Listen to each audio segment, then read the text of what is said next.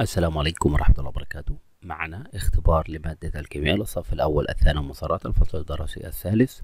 موجود على القناة أكثر من اختبار لمادة الكيمياء للصف الأول الثانوي المسارات اختار الإجابة الصحيحة من بين الأقواس وطالب أو طالبة اختار الإجابة الصحيحة من بين الأقواس. يوجد غاز الأوزون في طبقة الستراتوسفير الميزوسفير الإكسوسفير الستراتوسفير. ما فرع الكيمياء الذي يستقصي تحلل مواد التغليف في البيئة؟ الكيمياء الحيوية الكيمياء العضوية الكيمياء البيئية الكيمياء البيئية. ميثاق يقضي على إن إنهاء استعمال مركبات الكلوروفلوروكربون مونتريال دوبسون توماس. مونتريال.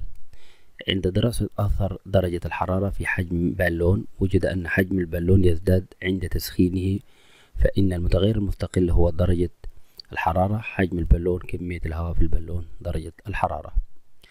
ما الشيء الذي يجب ألا تفعله أثناء العمل في المختبر إعادة المتبقي من المواد الكيميائية غير مستعملة إلى العبوة الأصلية. استعمال كميات كبيرة من الماء لغسل الجلد الذي تعرض للمواد الكيميائية. قراءة المكتوب على العبوات قبل استعمال محتوياتها. طبعا إعادة المتبقي من المواد الكيميائية غير مستعملة إلى العبوة الأصلية. قارني أو قارن بين البحث النظري والتطبيقي من حيث المفهوم. وجه المقارنة مفهوم العلمي البحث النظري. بحث يجرى للحصول على المعرفة من أجل المعرفة نفسها. البحث التطبيقي بحث يجرى لحل مشكلة محددة. اكتب أو اكتبوا تفسيرا علميا لكل من. سبب استخدام العلماء الكتلة بدلا من الوزن في قياساتهم لأن كتلة الجسم ثابتة في أي مكان بخلاف الوزن الذي يختلف من مكان إلى آخر بسبب تأثره من الجاذبية. يعد الأذن مهما لأنه يحمي الكائنات الحية من أشعة الشمس الضارة مثل الأشعة فوق البنفسجية. فكر العلماء أن مركبات الكلوروفلوروكربون لأنها غير سامة ولا تتفاعل مباشرة مع المواد الأخرى. ضعي علامة صح أو ضع علامة صح أمام العبارة الصحيحة وعلامة خطأ أمام العبارة الخاطئة. من الأمثلة على البيانات النوعية درجة الحرارة. خطأ. مركبات الكلوروفلوروكربون مكونة من فلور وكلور وكربون. صواب. تصنف الأفكار بأنها مادة. خطأ. الفرضية عملية لجمع المعلومات. خطأ.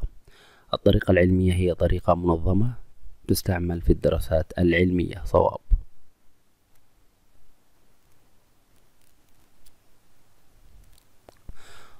ضع علامة الصح أمام العبارة الصحيحة. علامة خطأ أمام العبارة الخاطئة. في المخلوط المتجانس تكون مكوناته تمزج بتركيب ثابت وبانتظام. شكل وحجم المادة في الحالة الغازية غير ثابت وقوي.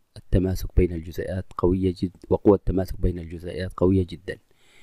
يعد ناتج مواد بلاستيكية مقاومة للحرارة لاستعمالها في الأفران المنزلية من البحوث النظرية.